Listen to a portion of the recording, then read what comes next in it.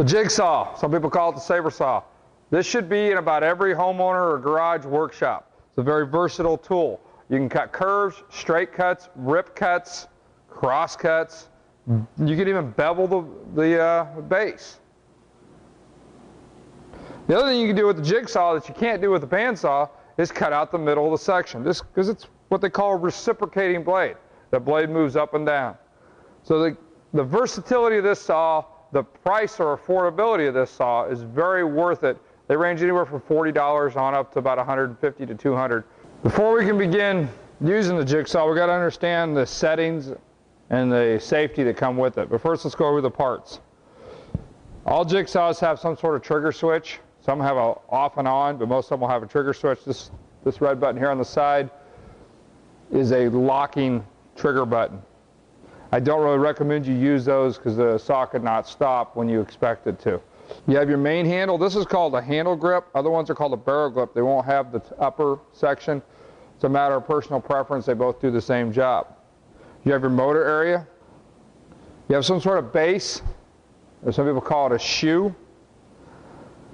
You have an orbital adjustment. What this does is it sets it to where instead of just going straight up and down, which is reciprocating, you're going to have a forward and backward motion. This makes it a more aggressive cut. Here on the front of the saw, it, there is two wheels or two guides that keep the blade going straight up and down. You need to make sure that the blade is always between those when you're cutting. And finally, you have the saw blade. Really important that you read the manual. Not necessarily for the safety aspects of it, that's always a good thing to review, but each type of blade, this one's called a T-shank uh, bit, or blade, excuse me, so you want to make sure you get the right type for the jigsaw that you, you purchase. Some have a hook, some have a hole. Again, they all vary just slightly differently. Where to set the orbital adjustment. A lot of them have blowers that'll they'll use the motor fan to blow the sawdust out of the way. And some of them even have a work light. Now let's get set up and go through some of the safety precautions we need to take into consideration when we're using the jigsaw. First off, I want to make sure to unplug when I'm doing any adjustments. Remember to read and follow all the safety instructions that come with your manual when you're, when you're purchasing or using a power tool. Knowing how to use your power tool safely is going to greatly reduce the risk of personal injury. And remember this, there's no more important safety rule than to wear these your safety glasses.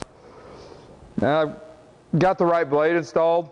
The amount of teeth is corresponding to the type of material, wood, plastic, metal, pine, oak. There's all different variations. Yes, you can get a multi-tooth blade or a multi-purpose blade.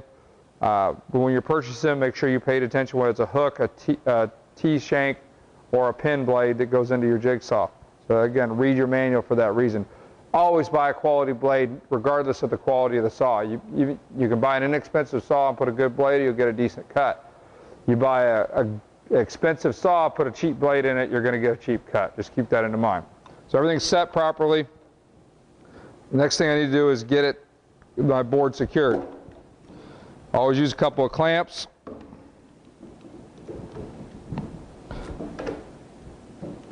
To hold it in, in position. Now I'm going to use a Sharpie for this demonstration, but I wouldn't recommend that personally for your workpiece. You want to use a pen or, or pencil more than likely. Positioning. I want to position the base onto the wood, but the blade is not touching. Put both hands on the saw and follow through all the way. I'm going to talk about clamp position though here. I want to clamp it as close as I can to the workbench, but not close enough that I cut the workbench. If you clamp too far away, it creates what is called a diving board effect. The further away you get, the more spring action it has. So clamp near the workbench as, as much as possible. The last consideration you want to think about is the cord. You don't want to cut the cord. That kind of be shocking. Okay, plan your cuts. Just like on the bandsaw or the scroll saw, you can only twist so much. Okay, the other way I can control vibration is two hands on the, on the uh, saw and keep the base all the time on the base or the flatness of the wood. Let's go ahead and make a cut.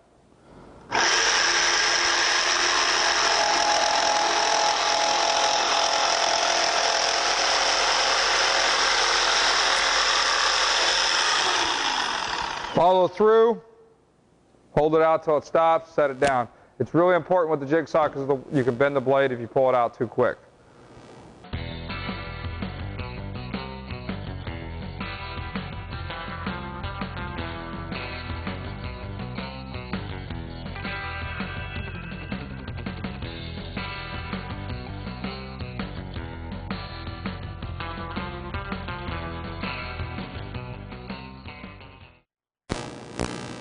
The one thing that a jigsaw or saber saw can do that a bandsaw can't is cut out the middle. I want to cut out this square here. There's a couple ways you can go about that. One way is definitely recommended. The other way I don't want to see you doing in a wood, general woodworking class. The first way that I don't recommend, just to show it to you, is called a plunge cut. I'm not actually going to demonstrate it, but I want to talk about it.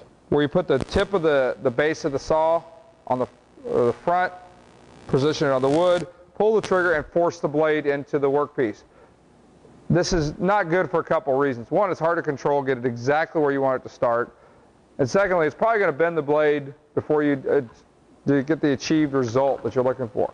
So how can we get this area cut out if we can't just force them into it? Okay, that's where a drill comes into play. Now, where should I drill the hole? You could drill one hole in the middle and have to do a bunch of freehand cutting to get to the corners. But however, my recommendation is to drill a hole right in each corner. Okay. If you recall from drill operation, you want to make sure that if the bottom matters, you want to make sure you clamp a scrap piece underneath it. All right. Now, again, the same safety procedures apply. Keep the base on the, saw, the wood at all times. We definitely don't want to remove the saw from the workpiece until the blade is stopped. When you're doing a through cut, you can position it off and float out of the way. But a non-through or a middle cut or interior cut, you want to make sure it stops completely. The holes in each corner will allow me just to keep going right around the corner. Now I'm going to have some clamps in the way. I need to think about that beforehand, so I am going to have to make this in a couple of passes. Let's, I've got it positioned in one of the holes.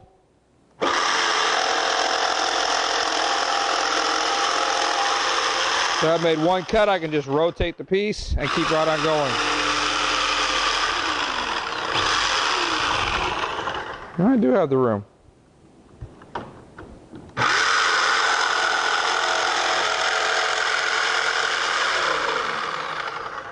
See how I wait for it to come to a complete stop?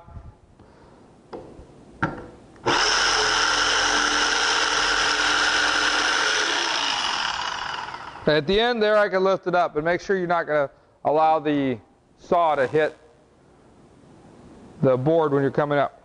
The biggest thing you need to worry about safety-wise, in addition to making sure your hands aren't going to be in the path of the blade, the second most dangerous thing you got to worry about is these scraps that have fallen on the floor below my feet. Those create tripping hazards because you could step on them and lose your foot out from underneath you. Now let's review.